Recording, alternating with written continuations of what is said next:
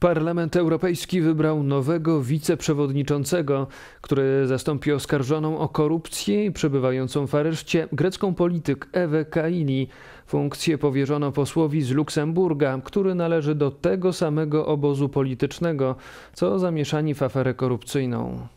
W domu byłej wiceprzewodniczącej Parlamentu Europejskiego socjalistki Ewy Kaili znaleziono walizki pieniędzy, które miały być zapłatą za jej przychylność względem Kataru. Europosłów korumpowało też Maroko. Rodzą się pytania o wpływy innych państw, szczególnie Rosji.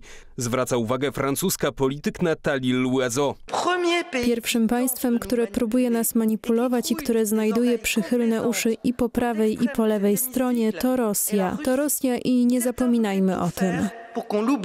Politycy oskarżeni w aferze korupcyjnej wielokrotnie występowali w obronie praworządności i atakowali Polskę. Unia Europejska musi się oczyścić i wyjaśnić ten skandal, mówi była premier Beata Szydło. I nie dać więcej podstaw do tego, że jeżeli w Unii Europejskiej mówi się o praworządności, to wielu z nas ma poczucie, że mówi się tylko o praworządności w wielu krajach europejskich, które praworządności nie łamią, tylko dlatego, żeby przykryć afery i łamanie praworządności tutaj w Unii Europejskiej. Parlament Europejski wybrał następcę przebywającej w areszcie Ewy Kaili. Został nim socjalista Mark Angel z Luksemburga. Congratulations to Mr. Angel.